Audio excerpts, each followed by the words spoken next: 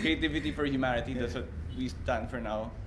Um, because of that, we uh, because of that that that uh, mantra, we always keep in mind uh, that thought whenever we're doing new work. Like, is it gonna help people really, not just not, just sell a product. People as human beings, we we we depend on nature, but what we want to say also is we need to take care of it for it to take care of us. So it's just it's just a, a give and take uh, situation. We just can't keep taking.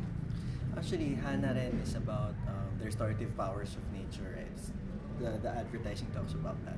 So, parang um, for this certain project, um, because since we already have the traditional um, advertising we have, we also decided to think of parang something disruptive naman, Mm. disruptive medium um, to spread the message of the power of the restorative power of nature. Putting it, as Ali said, in a disruptive medium, that was also a way for us to attract attention. You know, for the brand, at the same time, for the the good message that we want to put out as well. Uh, we had to research on what kind of plant could really um, could help clean the water. So we came up with uh, the vetiver plant. So we then talked to the vetiver queen, Yeah. Noah Maranang, and then um, so she was the one who um, provided the vetiver. Apparently, they use vetiver talaga to clean water in uh, garbage dumps. Um, companies use it to um, to filter out the water in their um, yung mga sewage nila. It's just that the agency thought using it as advertising itself is actually a new idea. So the first billboard came out, which is the Clean River Soon. Uh, that was the first one.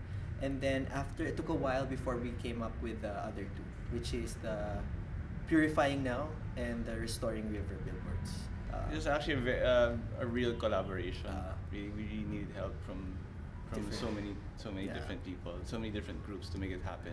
I think the the biggest uh, parang hurdle here is to actually find out how to do it on the first billboard. That was our uh, experiment. How are we gonna do it? How are, how is this gonna last? Uh, the maintenance, um, yung uh, how does it really clean?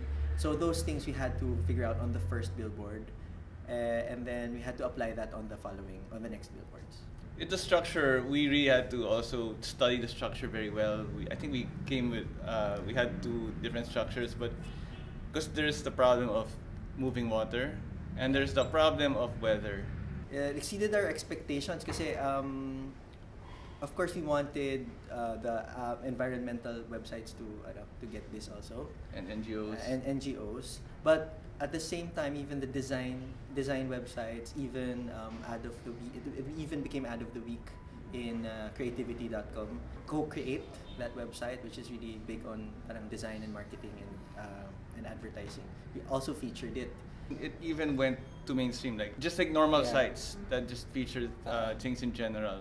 It also came out there, not just uh, the sites that we wanted to, like Even the I think environmental sites. beauty blogs that featured Hana, I think Yeah. also featured the that parang that component of the brand that talks about really nature and how, how it cares for, for the environment. So we weren't just teaching the people of like Pasig River. I mean, we were we were actually spreading a message of taking care of the environment in general. It it came to that. Actually, what I really liked was parang advertising, you know, the advertising websites thought it was um, advertising for good or advertising that um, for a change is um, doing good to society. Um, tapos parang they were also likening it to other campaigns um, abroad, like for example, the billboard that can um, generate water from Peru, you know, the stuff like that. So um, parang we were happy that our project was um, featured and parang sort of like is changing what advertising and marketing is um, for the brand.